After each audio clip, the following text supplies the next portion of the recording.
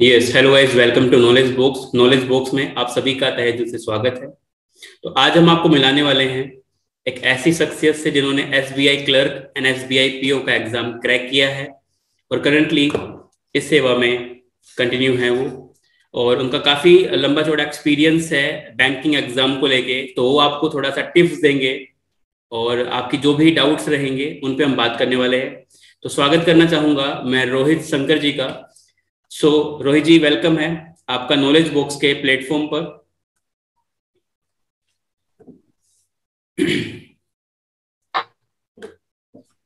Thank you Deepak कैसे हो? तो बहुत सारे क्वेश्चंस स्टूडेंट्स के दिमाग में रहते हैं सर कि हम कितने घंटे पढ़ें और क्या कंटेंट यूज़ करें। वो सारी चीज़ें आज अपन डिस्कस करने वाले हैं। तो हल्का सा एक बार आप अपनी जर्नी जो बैंकिंग एग्ज़ाम को लेके रही वो थोड़ा सा आप स्टूडेंट से शेयर कीजिए सर मेरा इस हिसाब से रहा है कि मैंने कभी फॉर्मली कोई कोचिंग ली नहीं है बैंकिंग एग्ज़ाम्स के लिए।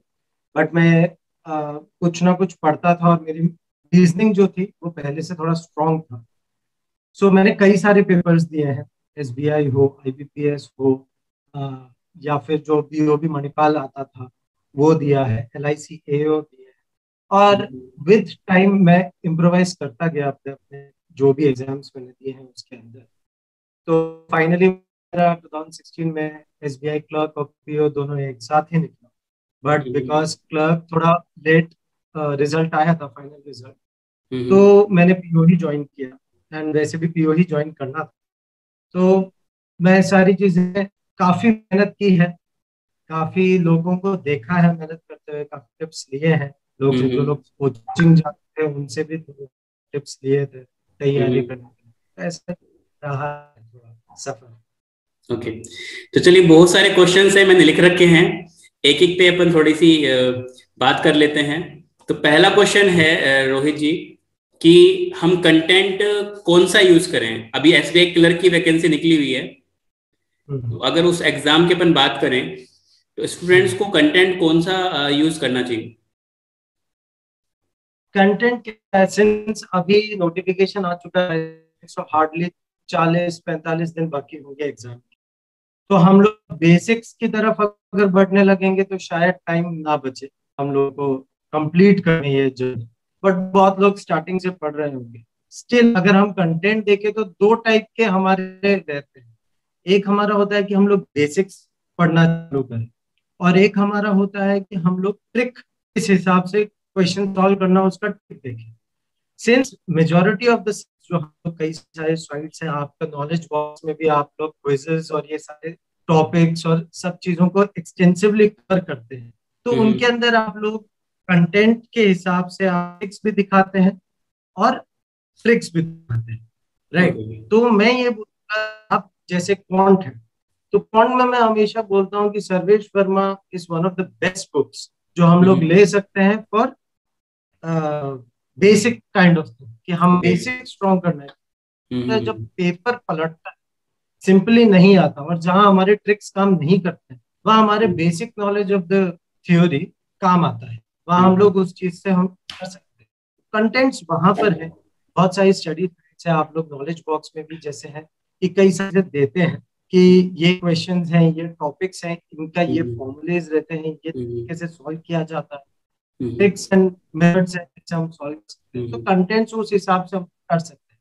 बट बेसिक बुक्स जो है वो हमेशा हमारे पास एक रेडी रेफरेंस के लिए रहनी चाहिए। ओके ठीक है। तो मतलब बेस जो है वो एकदम आपसे का पहले से रेडी होना चाहिए लेकिन आपके अंदर एक स्मार्टनेस होनी चाहिए क्वेश्चंस को कम समय में सोल्व करने की।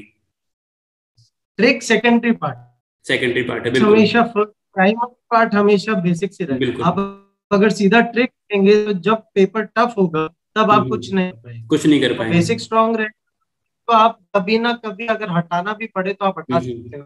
और बेसिक्स वापस कूद राइट चलिए दूसरा क्वेश्चन है रोहित जी कि सबसे बड़ा क्वेश्चन है आज के दिन में ये कि अभी सत्रह तारीख तक फॉर्म भरने वाले हैं लोग। तो स्टूडेंट्स कंफ्यूज है हम्म। कि हम कहाँ से फॉर्म भरें? हम जहाँ पे ज़्यादा सीट है वहाँ से भरें? जहाँ से बिल्कुल कम है वहाँ से भरें या एवरेज वाले पे भरें? देखिए एस एसबीआई क्लर्क में कैसा है कि आप कहीं से भी भरेंगे तो उस स्टेट का जो ऑफिशियल लैंग्वेज है उस लैंग्वेज प्रोफिशिएंसी टेस्ट आपको देना ही पड़ेगा। बिल्कुल। अब सिंस मैं एलपीटी को बड़ा नहीं मानता हूँ आप लोग हो सकता है थोड़ा सा पढ़ लिख के कर भी बट आपको वहाँ सर्व करना है। अगर आप ये सोच रहे हैं वहाँ पर जाऊँगा और पाँच छह साल में ट्रांसफ़र के वापस आ जाऊँगा अपने स्टेट में। तो वो इतना पॉसिबल नहीं है बिकॉज़ वेटिंग बहुत ज़्यादा है बैंक्स के अंदर। तो आप हो सकता है आठ दस साल रह रहे हैं। अब मान लीजिए आप राजस्थान से जैसे हम लोग राजस्थान से हम बिलोंग करते हैं। तो आस पास में मैंने अभी देखा था कि 900 सीट अहमदाबाद सर्कल से विच इज़ द हाईएस्ट तो आप अहमदाबाद सर्कल भर सकते बट फिर क्या है कि आपको गुजराती सीखनी पड़ेगी बात। सीखनी पड़ेगी। बिकॉज़ आप फ्रंट स्टाफ होंगे।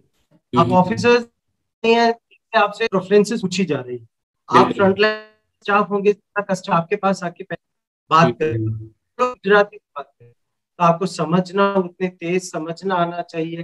बट ऐसे स्टेट्स जहाँ पर आप काम कर सकते हो रियलिटी में जैसे Gujarat is a very good state हम लोग अब वहाँ पर नौकरी करते हैं तो लोग बहुत अच्छे हैं ज़्यादा दिक्कत नहीं आती है तो हम लोग वहाँ कर सकते अगर कंसिडरेबली जैसे राजस्थान में 175 कुछ सीट्स आई गेस और दूसरे स्टेट में 250 सीट है तो मैं ये नहीं कहूँगा कि आप दूसरे स्टेट जाइए। आप अपने स्टेट से ही भरिए बट हाँ अगर अहमदाबाद सर्कल में 900 सीट है और आपके चांसेस बढ़ सकते हैं डेफिनेटली हम्म, 900 सीट है तो थोड़ा नीचे ही आएगा उस स्टेट का। तो आप वहाँ पर आप प्रेफरेंस भर सकते हैं अगर आपको कोई दिक्कत नहीं है अपने स्टेट से रहने में तो। ओके चलिए रोहित जी तीसरा क्वेश्चन है हमारा कि अभी जैसे कि 40 दिन बच रहे हैं तो कितने घंटे पढ़ना चाहिए स्टूडेंट्स को? ये थोड़ा ट्रिक क्वेश्चन है एक्चुअली करता है आपकी पढ़ने की स्पीड कुछ लोग ऐसे होते हैं जो टॉपिक पढ़ा दस पंद्रह मिनट में उनको समझ आ गया वो लोग प्रैक्टिस चालू किया उनका पक्का हो गया। कुछ लोग ऐसे होते हैं जो सेम चीज़ समझ सकते हैं बट उनको फोर्टी फाइव मिनट्स लगे।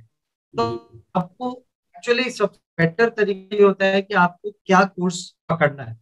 इसके लिए पास्ट फाइव इयर्स के जो पेपर्स हैं जो जो भी जिस साइड का भी आपको क्वेश्चंस मिल रहे हैं उनको थोड़ा एनालाइज कर एक दो दिन लगेगा बट एनालाइज करिए। टॉपिक देखिए जो कि फ्रीक्वेंटली वापस आते ही आते हैं। हर साल जाते उनको बाइफरकेट करिए कि इतने टाइम में मुझे इतना कंप्लीट करना ही है और उस अकॉर्डिंग पढ़िए। मैं कभी नहीं कहूँगा कि बारह घंटे बैठ के पढ़िए। क्योंकि आदमी बीस दिन के अंदर ही इतना परेशान हो जाएगा कि आने वाले दिन पढ़ ही नहीं पाए। बिल्कुल बिल्कुल। टू चार से पाँच छह मैक्सिमम आपको पढ़ना चाहिए। इससे हम्म। ज़्यादा हमारे कैपेसिटी नहीं होता है और हम जो भी आगे पढ़ते हैं वो हो सकता है कि हमारे लिए फ्रूटफुल ना रहे। थोड़ा सा आप फैमिली में time but since forty days हो तो मैं कहूँगा कि आप उसको थोड़ा बढ़ा के छह सात घंटे के पढ़ाई जो कि एक साथ ना हो बांट बांट के दो घंटे दो घंटे ऐसे कर करके आप हम्म। तो काफ़ी फ़ायदेमंद रहेगा। बिल्कुल मतलब आप एक टारगेट बना लीजिए मतलब डेली का बना लीजिए और आप उनको टुकड़ों में करिए। दो घंटे सुबह पढ़ लिया फिर थोड़ा ब्रेक ले लिया फिर दो घंटे पढ़ लिया इस तरीके से। आप कभी एक दिन एक शब्द लेके मत पढ़िएगा। ये वो टाइम नहीं है जब आप ये सोचे कि मैं अभी रिश्ता हूँ अभी क्वांट पढ़ता हूँ अभी इंग्लिश हम्म। पढ़ता हूँ। ये टाइम वो वो टाइम आपका इनिशियल प्रिपरेशन के लिए रहता है। अभी ये टाइम है कि आपको तीनों के क्विज करने हैं आपको करना है कि सुबह मैं रीजनिंग कर लूँगा दोपहर को मैथ्स कर लूँगा आपको मैं कर लूँगा। उसी हिसाब से आप कर सकते हो। बट अगर आप ये सोचोगे कि मंडे को ये होगा ट्यूजडे को ये होगा तो नहीं। तो रोज पकड़ना पड़ेगा। और इसमें एक चीज़ आपको ध्यान है कि आप किसी भी टॉपिक में बहुत डीप मत अगर आपको अभी तक वो टॉपिक नहीं इजीली आया है तो। समझ रहे हैं? अगर आप you are okay with that आपको आता है तो आप घुसिए और उसमें अदरवाइज़ आप टाइम करते जाएँगे छह घंटे में तीन घंटे आप ऐसे टॉपिक्स पढ़ रहे हैं तो आपको बिल्कुल नहीं समझ आ रहे थे और आप वो कर रहे हैं। That is not going to be fruit okay चलिए रोहित जी नेक्स्ट क्वेश्चन है कि टेस्ट सीरीज़ कब से स्टार्ट कर देनी चाहिए स्टूडेंट्स को? टेस्ट सीरीज़ मैं बोलूँगा अभी से चालू करिए। Normally hmm. मैं देखा है के लिए दस बीस जो भी टेस्ट की एक टेस्ट सीरीज़ यूजुअली आती है। हम्म। अगर आप दस वाली लेते हैं तो आप अपना गैप थ्री डेज़ के हिसाब से रखिए कि तीस दिन के अंदर आपके टेस्ट कंप्लीट हो जाने चाहिए। हर एक टेस्ट दीजिए और पहले टेस्ट में आप निराश ना होइए it's better to score less in the first test अगर आपका पहले टेस्ट में कम आ जाते हैं इसका मतलब है आपके पास नौ और टेस्ट बचे हैं नंबर बढ़ाने के और वो कॉन्फिडेंस बूस्ट एग्ज़ाम में बहुत ज़्यादा इम्पोर्टेंट है राइट अगर आप पहले में सौ में से अस्सी ला रहे हैं दूसरे में सत्तर ला रहे हैं तीसरे में फिर अस्सी ला रहे हैं चौथे में पचास ही ला रहे हैं तो वो एक मिक्स इसका मतलब है कि आपको कुछ चीज़ नहीं समझ चाहिए okay. बट अगर आप पहले पचास ला रहे उसके बाद आपका एक प्रोग्रेशन अपर ही चल रहा है इसका मतलब है कि और इम्प्रूविंग और फास्ट इम्प्रूवमेंट है उसके। और एक और चीज़ मैं बोलना चाहूँगा जो मैं करता था पर्सनली एक घंटे का टेस्ट है घंटे का टेस्ट है। तो मान लीजिए एक घंटे का टेस्ट सौ क्वेश्चन। आपका आंसर सही हो गलत आप अगला दो से तीन घंटा आपको टेस्ट सीरीज़ के आंसर के एनालिसिस में ही देना है। चाहे आपका आंसर सही हो हो सकता है उसका सॉल्विंग का तरीका और आपके सॉल्विंग का तरीका अलग हो। राइट तो आप जितना ज़्यादा एनालाइज करेंगे अपने टेस्ट को उतना ज़्यादा आपका नेक्स्ट टेस्ट बेटर हो तो एनालिस पेपर देते हैं नंबर देखते हैं छोड़ देते हैं। जो गलत हुए हाँ अच्छा ये ऐसे करना था छोड़ दिया। वैसे नहीं एक प्रॉपर एनालिसिस देना चाहिए कि हिसाब से हमें पेपर देना है और हमने गलतियाँ की और सुधार सकते हैं और उसका रिज़ल्ट आपको बहुत ज़्यादा तेज़ी से दिखाई ओके। एग्ज़ाम हॉल में क्या होता है कि भाई एक तो क्या है बैंकिंग का एग्ज़ाम शॉर्टली रहता है बीस बीस मिनट रहती है आपको सेक्शन वाइज ठीक है? तो uh, काफ़ी एस्पिरेंट थोड़ा सा डर जाते हैं। और मतलब काफ़ी क्वेश्चन में ज़्यादा टाइम लगा देते हैं या फिर थोड़ा सा फोबिया रहता है डर रहता है। तो उस समय माइंड सेट क्या होना चाहिए एक एस्पिरेंट का एग्ज़ाम हॉल में? देखिए एग्ज़ाम का कैसा है मैं जो पर्सनली मैं भी देखता था कि बड़े हटा दीजिए इनिशियल जैसे कि इंग्लिश में पैसेज है लोगों की आदत होती है पहले पैसेज को लेते हैं दस मिनट बर्बाद करते हैं।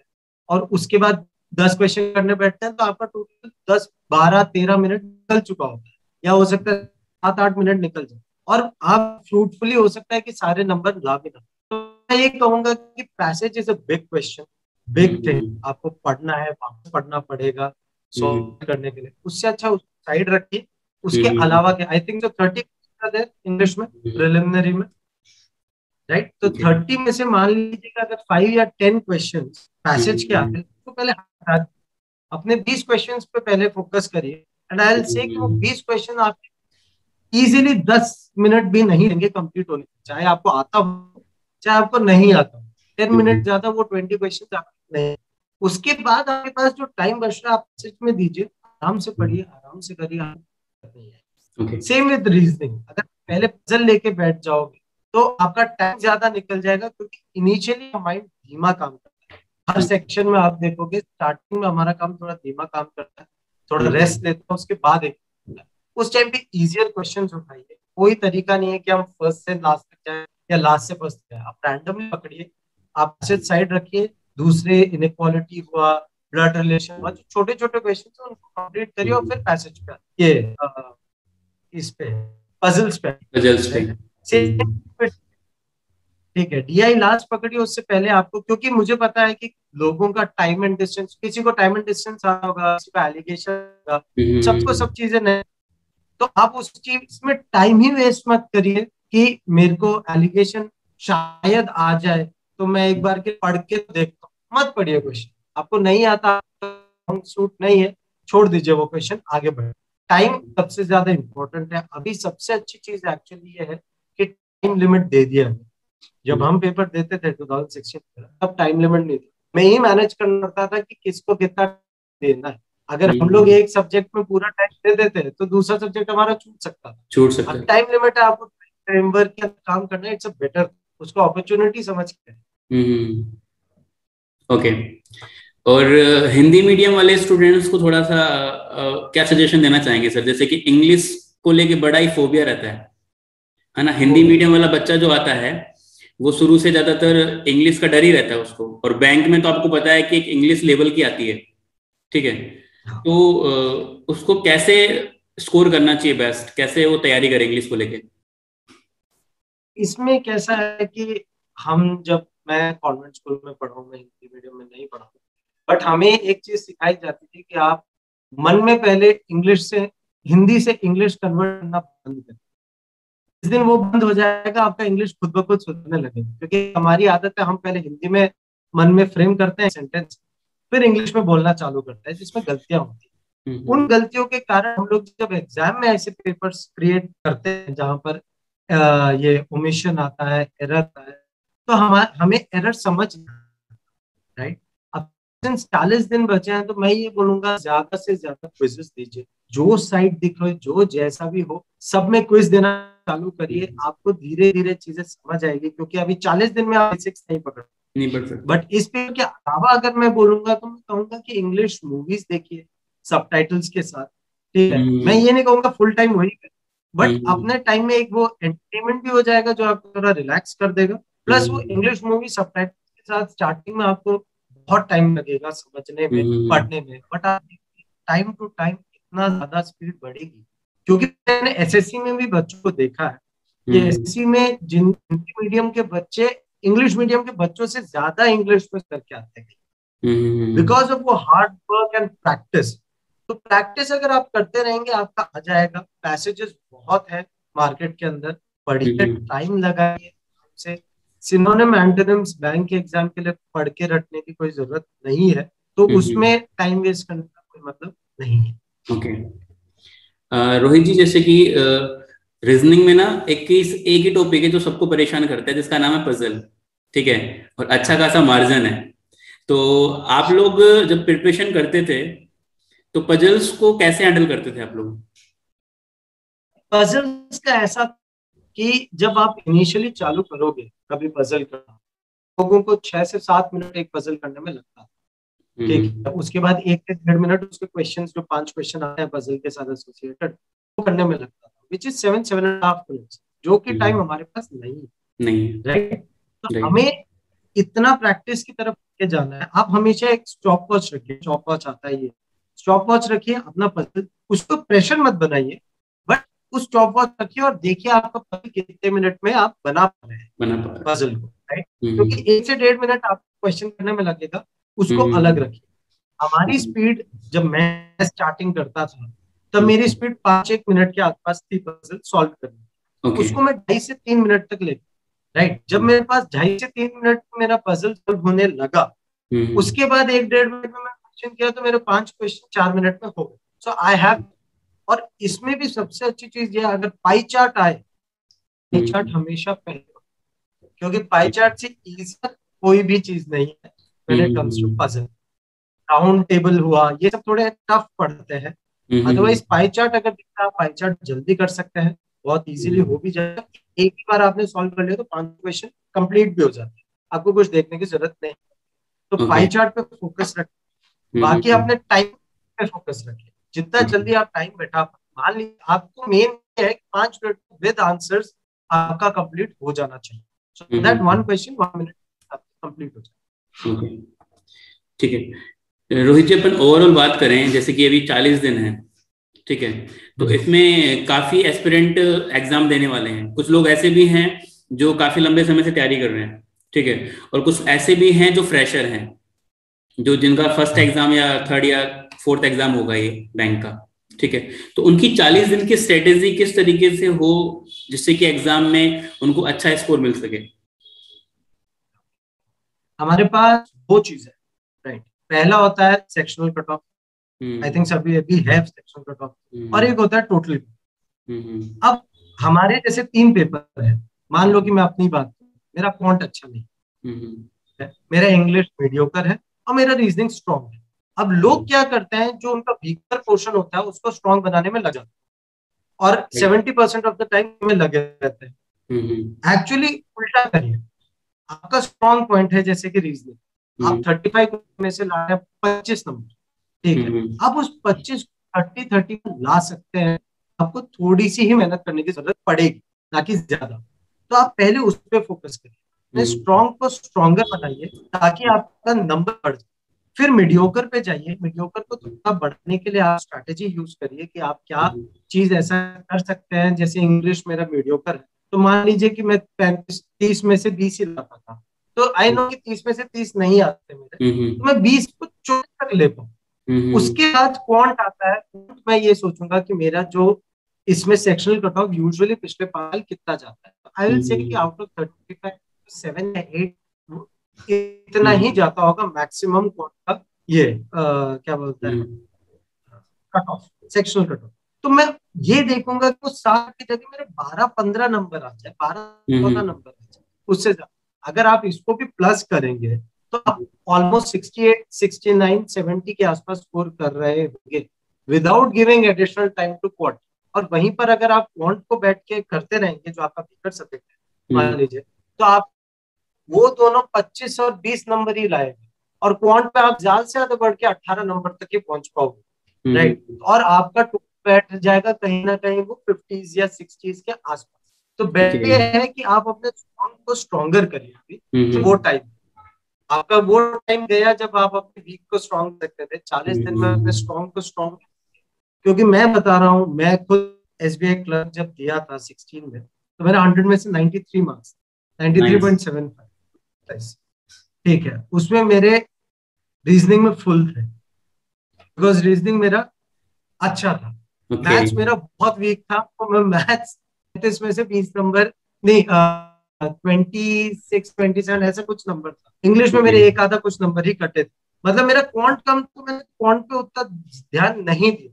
हम्म। पकड़ा उसमें फुल लेकर इवन इसके अंदर भी जब मेंस था तो मेरे 168 नंबर आउट ऑफ़ 200 और सारे सर्कल्स के कफ ऑलमोस्ट मेरे पार ही थे। सबके उस टाइम पे 135 145 के आसपास हम्म, तो मैं इसलिए बोल रहा हूँ स्ट्रॉन्ग को स्ट्रॉन्गर नंबर वहीं से बढ़ेंगे आपको दो ही चीज़ें वीक को इतना ले आइए कि आपका सेक्शनल कट ऑफ़ पार हो जाए।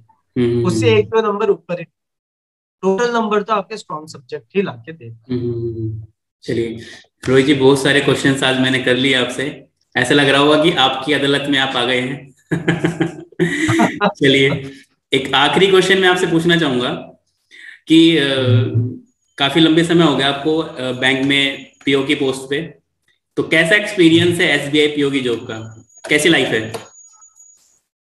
एस बी आई पीओ में एक तरीके से बाहर बैंक वालों को देखते हैं कोई बोलते हैं तो कुछ काम ही नहीं हम्म। और अंदर वालों की ऐसी हालत है खासकर ऑफिसर्स क्लरिकल का टाइमलाइन गाइड वो है सर्विस बुक के अकॉर्डिंग है तो वो लोग निकल सकते हैं साढ़े पाँच छह बजे जब निकलना होता है। ऑफिसर की ऐसी लाइफ उसका आठ नौ दस या कितने भी बच्चे हम्म। अब वो बैठ के काम करते कभी सैटरडे संडेज भी नहीं होते हमें रोज जाना हम्म, होता है। रिस्क हम्म। बहुत ज़्यादा बढ़ गया है। गवर्नमेंट की पॉलिसीज़ बहुत ज़्यादा है तो हम बहुत ज़्यादा बढ़ गया है बैंकिंग सेक्टर के अंदर। बट वो है कि अगर आप काम करते हैं तो bank is one of the organisation जहाँ फास्टेस्ट प्रमोशन अगर आप काम करना चाहते हैं प्रमोशन लेना चाहते हैं तो बैंक से बेटर कुछ भी नहीं। बाकी सब एक फिक्स टाइम होता है जहाँ पर आप आठ साल में प्रमोशन ले पाओगे। यहाँ ऐसा नहीं आपका तीन साल में you are eligible for the next promotion बाकी आपके वर्किंग किनारे पे है कि आपका स्कोर आया था या नहीं। बट इट्स हेक्टिक काम काफ़ी करना पड़ता है. और काफ़ी प्रेशर रहता है। रेस्पॉन्सिबिलिटी है काफ़ी अच्छी. हाँ बैंकिंग थोड़े बुरे टाइम से गुजर रहा है। सो इट्स टाइम कि हम लोगों को काम करना पड़े। पहले जैसे नहीं रहा है। काफ़ी but you will enjoy it's a new thing बहुत नई नई चीज़ें को मिलेगी। एंड सबसे अच्छी चीज़ है आप बहुत सारे फील्ड्स बिकॉज़ आप एडवांसेस वगैरह देते हैं लोन्स देते हैं हम्म। तो बहुत सारी फील्ड्स छोटी छोटी चीज़ों की आप बोलते हैं ना ज्ञानी आदमी हो जाते हैं। हम्म। तो ज्ञान बहुत मिलता है अलग अलग जगहों पे। तो आपको as a whole holistic development आपका बहुत ज़्यादा बैंक तो एक अच्छी गुड चलिए। सो so, काफ़ी क्वेश्चन आज आपसे मैंने पूछ लिए और मैं स्टूडेंट्स की तरफ़ से आपको थैंक यू बोलना चाहूँगा कि काफ़ी आपने उनको गाइड किया है और कीमती समय देने के लिए धन्यवाद सर आगे भी आशा करते हैं कि आप ऐसे स्टूडेंट्स को मार्गदर्शन करते रहेंगे। थैंक यू चलिए सर धन्यवाद। Thank you